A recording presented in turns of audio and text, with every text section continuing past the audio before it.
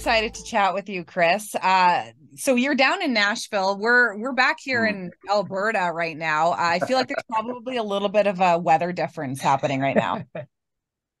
Ironically enough, uh, they canceled school today because of ice on the ground here. So they are expecting some flurries, which is not very common down here. But uh, when there is even the little bit of snow in Nashville, they close the entire city, believe it or not. So, yeah. when they have ice and flurries in Nashville, is it kind of like for a Canadian, is it kind of a joke? Like, do you walk outside and you're like, this is nothing? Honest answer, yes. it is.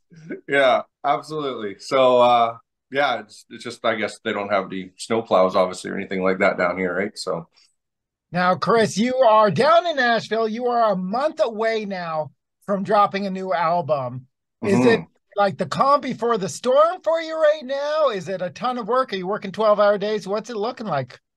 uh I, I'm really busy just um as I'm a songwriter down here. I have a publishing deal for people that don't know what that is. I, I write not only songs for myself, but I write for a lot of other artists as well. So I've been really busy more with that than anything. Like usually you know, I'm writing, I don't know, five to seven songs a week. And then a lot of Canadian acts will like fly down here and we'll book them writes and, and stuff like that. As for the album, to answer your question, I, I finished the album about six months ago. So we're just trying to put it all together. So it's been sitting there for a while. Um, I recorded it down here. It was really cool. I recorded it with uh, Jeremy Stover and Julian King. Ju- um, Jeremy Stover produced Justin Moore's album. So you might hear a little bit of some similarities in some of the music behind it. And I had Dan Swimmer help out and another British Columbian uh, producer, Jeff Johnson. So there was a lot of people kind of involved in this, I think, just because of the pandemic and you were trying to juggle a lot of things during that time. So um, I think it's my best stuff yet. That's just my opinion. Um, I just feel like it's a little more mature sounding, and I just feel like the quality of everything has gone up a notch. So you have a, a brand new song just came out the other day, She Gone. I, I understand it's about a breakup. So can you t- tell us about your new music? Yeah, uh, so I wrote this song. We are doing a writing retreat in the Okanagan this past summer. My album is already done. Like we're we're getting the artwork together. I always send my demos into my label and some of my people I throw ideas by.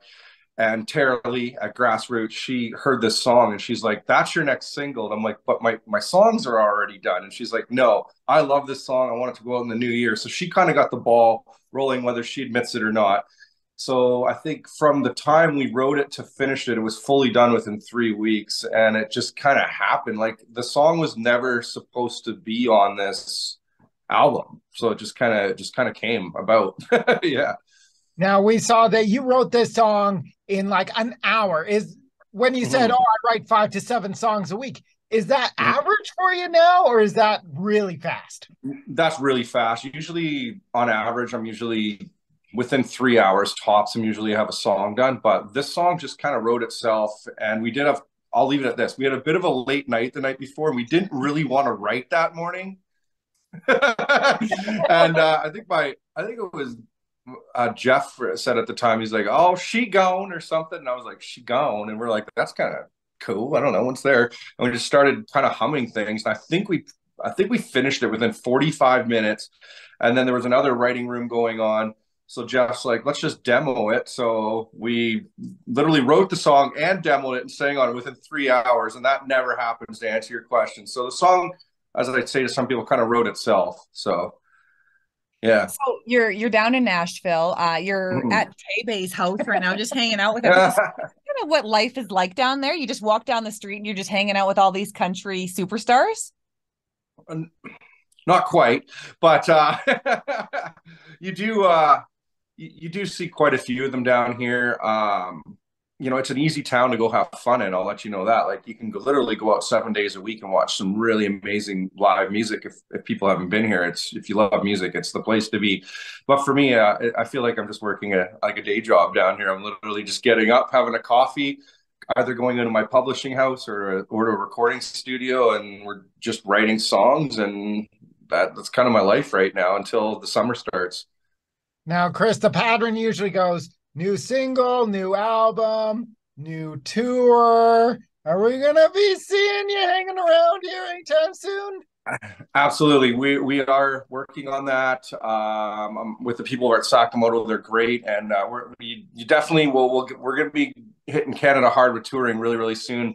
So I'll make sure I let you guys know. And funny enough, you're in Cochrane, Alberta. That's correct.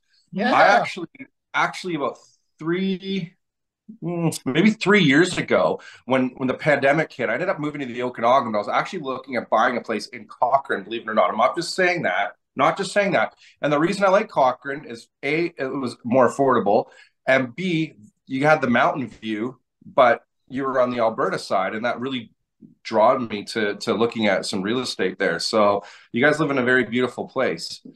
But then you were like, oh, Okanagan. Yeah. well, here's the thing. I'm in a condo in the Okanagan. I can't in the Okanagan. It's lovely. You're right right, which is now well, currently rented out because I'm not living there, but it is there. Sorry, say that again. We have lots of houses still for sale here in Cochrane.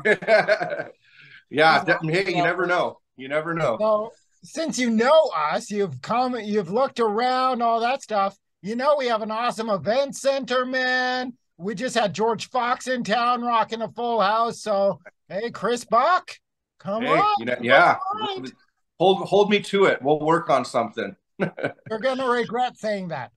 Are those Cochrane people still calling?